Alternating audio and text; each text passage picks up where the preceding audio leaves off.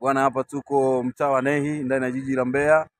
Uh, tuko na dada Esther kama unavyomuona pale nyuma, na sisi ni wateja wake kwa usiku wa leo katika ununuzi wa haya mahindi unayoyaona. Binti mdogo kama huyu uh, mida kama hii anauza mahindi uh, wa Tanzania sio jambo dogo, ni jambo kubwa sana. Kwa hiyo sisi kama moja zaidi leo tumefika hapa uh, kwa ajili ya insp- inspiration na dada Esther. Utamsikia soon.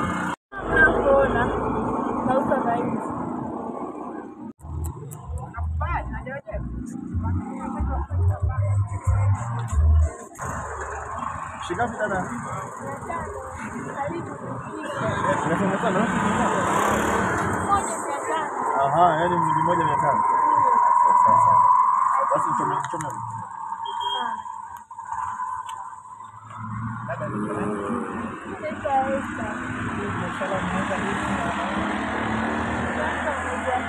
Kufanya biashara mahindi, kuna biashara nyingi, wengine wanakaa mitaani kwa ajili ya biashara mahindi. Kwa nini unafikiria kufanya biashara mahindi?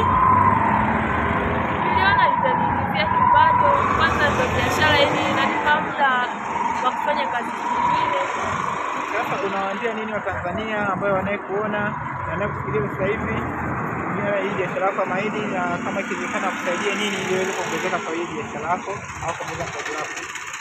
Nilikuwa naomba waniongezee hata mtaji. Una namba ya simu au na nini ambacho ambao wanaweza kufanya mawasiliano na wewe ili aweze kuongezea mtaji? Namba ya simu ni nane saba themanini tatu thelathini na mbili themanini na saba arobaini na tatu.